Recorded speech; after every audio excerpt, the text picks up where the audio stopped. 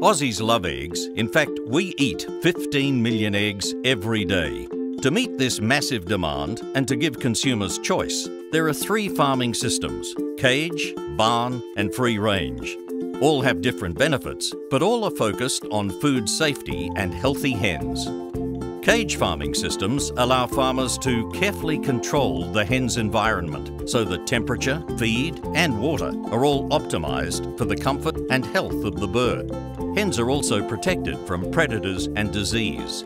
Barn farming systems allow hens the freedom to move around in large climate-controlled barns, which means they have more space, but are not exposed to the elements and outside threats.